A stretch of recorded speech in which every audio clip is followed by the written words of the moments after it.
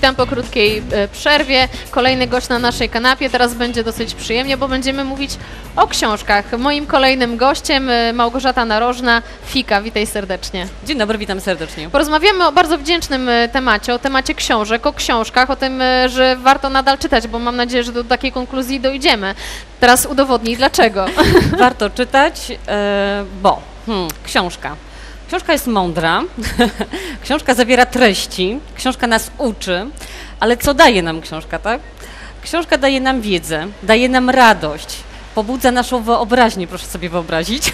Tak, nie daje od razu gotowych obrazków. Nie daje gotowych obrazków, musimy sobie je czasami wypowiedzieć, dopowiedzieć, wymyśleć, tak? Więc książki, książki warto czytać nadal, zapewniam.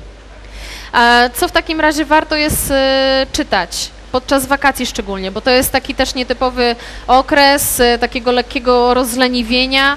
E, Co możemy sobie poczytać w tym czasie? E, Fika generalnie skupia się na książkach dla dzieci i dla młodzieży, więc w tym obrębie się będziemy tylko poruszać. Jest, w chwili obecnej rynek książki jest bardzo bogaty. Jest bardzo mnóstwo małych, fajnych wydawnictw, które wy- wydają bardzo ładne, perełkowe książeczki. Zacznijmy od takich małych maluszków. Jest taka piękna nowa seria tematyczna, zwierzęta, przedmioty, pojazdy, jedzenie. Ja Mała książeczka, w której dziecko może się dowiedzieć, jak wygląda krowa. Może się również dowiedzieć, jak krowa brzmi w języku angielskim, w języku francuskim i hiszpańskim.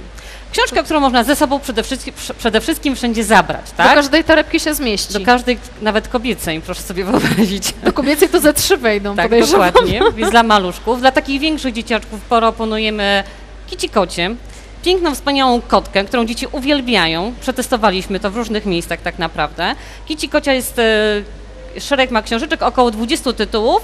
E, one są tematyczne. A gdy wybierzemy się nad morzem, nie możemy zapomnieć o takiej typowej nadmorskiej książeczce, Mifi nad morzem. Mifi jest bardzo ładną króliczką.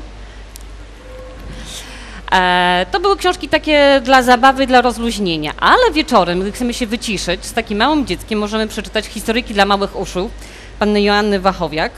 Ale są piękne, y, piękne Małe- wydania w ogóle, naprawdę. Tak, to jest akurat ta sama ilustratorka, co stworzyła Kici Kocie. Pani Joanna są mądre, bardzo pełne przyjaźni opowiadania.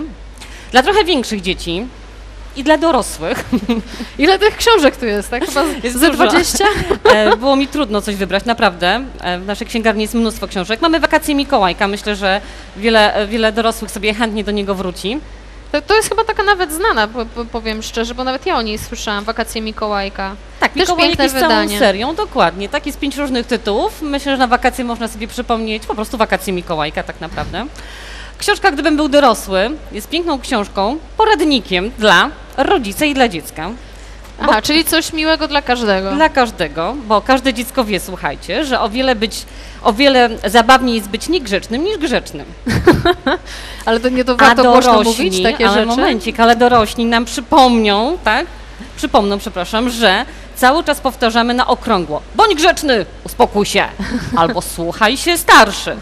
I takie dziecko zmaltretowane później zaczyna nam opowiadać, co on by robił, gdyby on był dorosły. Aha. Więc to wszystko, co mu zakazują, czyli nogi na stół, biała rękawiczka, ściany, ale na koniec jest smutna refleksja, że no już tak, dlaczego oni tak się jednak nie zachowują, skoro na wszystko mogą, bo są dorośli tak naprawdę, tak?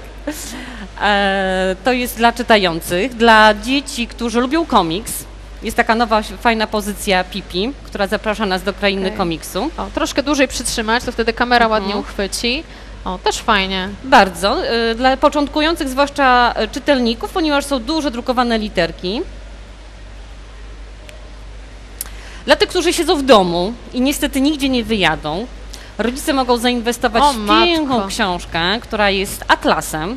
Ale tak ja naprawdę. uwielbiałam takie książki, pamiętam. I tu są e, mapy. Mapy O, jest to wow. książka nie tylko geograficzna, jest też również zawarto dużo historii, dużo biologii, geologii. Każde państwo jest zilustrowane bardzo pięknie.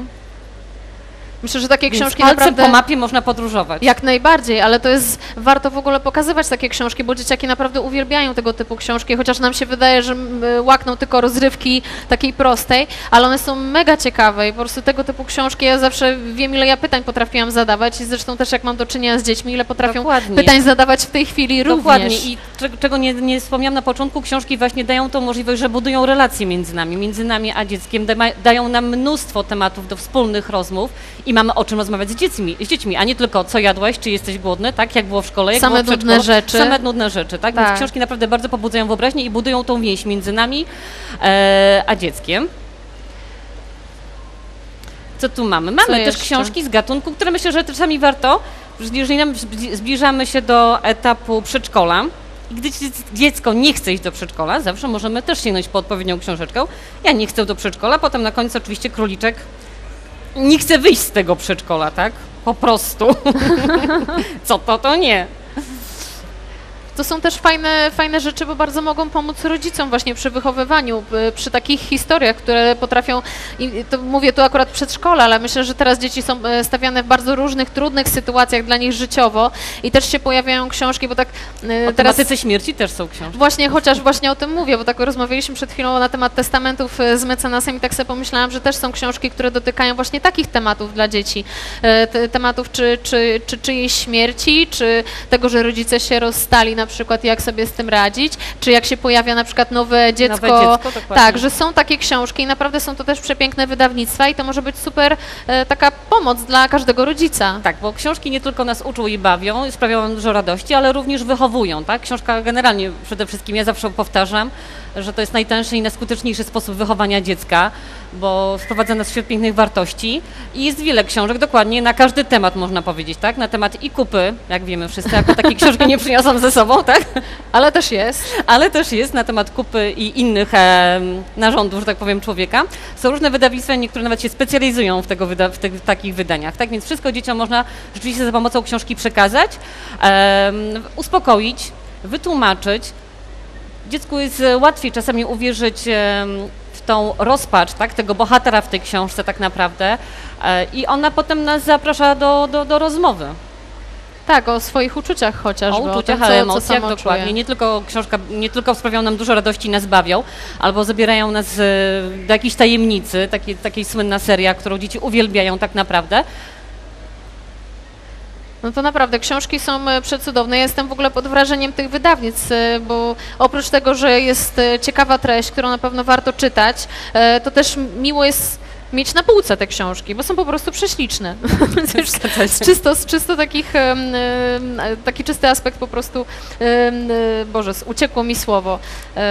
Wizualny. Wizualny, dokładnie, dziękuję bardzo za Wizualny, tak. uratowanie. E, Poza książkami, które możemy czytać, nosić ze sobą, bo myślę, że warto na pewno, można też e, sięgnąć po audiobooki. Jeżeli jesteśmy w podróży, jest okres wakacyjny, często musimy się przemieszczać, podróżujemy gdzieś daleko, warto pamiętać, że są również audiobooki i książkę można również przesłuchać. To też jest forma czytania tak naprawdę. Tak, to jest forma czytania i też bardzo, bardzo fajna i też bardzo roz, rozbudza wyobraźnię. E, Kiedyś pamiętam, że takie były audiobooki na, e, na winylowych płytach. Ja takie pamiętam. Tak, I takie ta- były pierwsze bajki grajki. tak, b- b- i to też, e, też uwielbiałam słuchać takich bajek. Teraz no raczej, raczej są to płyty CD, ale co jest też super, bo takie audiobooki można dziecku przegrać na tableta, na iPoda, bo dzieciaki naprawdę w tej chwili już na, większość z nich posiada takie urządzenia i też właśnie pokazać, że, że te audiobooki można w takiej formie i ten sprzęt może też służyć do czegoś naprawdę fajnego i zamiast dawać dziecku głupią grę, dać właśnie możliwość posłuchania podczas długiej, e, trudnej podróży ciężkiej takiego audiobooka. Wy, ja pani Idealnie. mi to zło dosłownie, a poza y, na tablety również są aplikacje.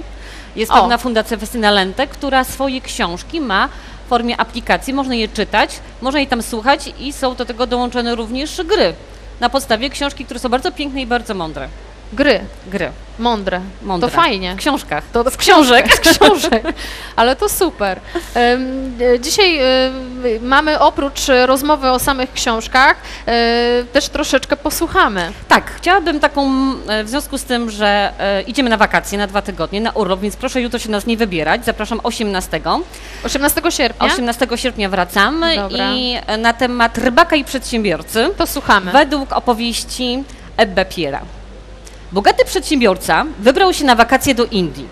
Pewnego ranka na piaszczystym brzegu ujrzał łódź rybaka, który wracał z morza. Jak tam? zawołał. Połów się udał? Rybak uśmiechnął się i pokazał mu kilka ryb leżących na dnie łodzi. Tak, to dobry połów. Jest jeszcze wcześnie, pewnie znów wypłyniesz. Mam wypłynąć? zapytał rybak. Ale po co? Jak to?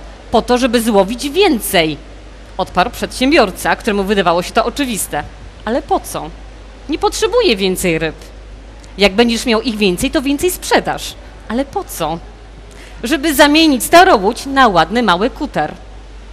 Ale po co? No bo na tym małym kutrze będziesz mógł złowić więcej ryb. Ale po co? No będziesz mógł zatrudnić pracowników. Ale po co? Będę łowić za ciebie. Staniesz się bogaty. Ale po co? Żebyś mógł sobie wypoczywać. Rybak spojrzał na niego, uśmiechając się szeroko. To właśnie będę zaraz robił. Ja też to będę za chwilę robić. Życzę wszystkim udanych i słonecznych wakacji, bo ja pogodę zamówiłam sobie. To super, to mam nadzieję, że ta pogoda będzie też również w Szczecinie.